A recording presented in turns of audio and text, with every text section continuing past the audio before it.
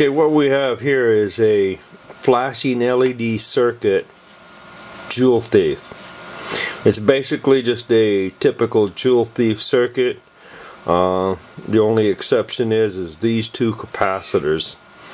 Uh, the first one is put in between the two leads of the AA battery.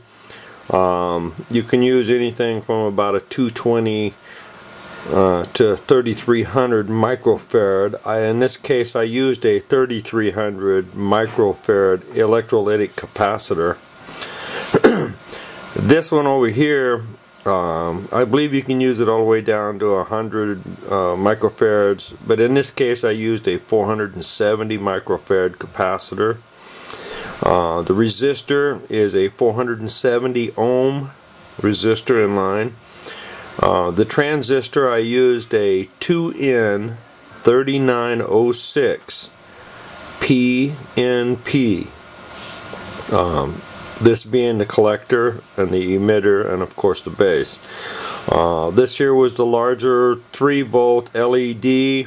Uh, I've used different colors, it doesn't really matter. Um, now in this circuit here, if you remove either one of these capacitors, you won't get the flashing LED. You can change the capacitance up or down and you will change the frequency of the flashing of the LED. Um, this up here, just a hand wound ferrite toroid coil. Uh, the one I used here, and I'll show you in just a second. Get this camera loose. Um, here's basically the circuit that I've got. And you can see the LED flashing. The um, if I can hold this and do this. This one here is the large 3300 microfarad capacitor.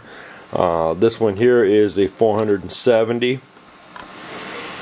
Um, here you can see the 470 ohm resistor in line to the transistor and the, homemade coil. Now on this coil here, it's a little different than the typical ferrite coil what I did is I uh, acquired some washer type uh, ceramic magnets from uh, Radio Shack.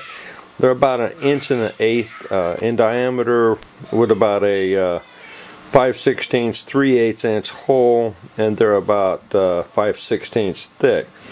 I used two of these magnets and, and the center one is a smaller ferrite core uh, for running for making the toroid coils and I hooked these two magnets up where they actually attracted each other so that it's not a north-north on the inside it's a north-south and then on the wire I made one complete loop on one side and then moved over made another complete loop and then moved over. Um, so I don't know if you can see it there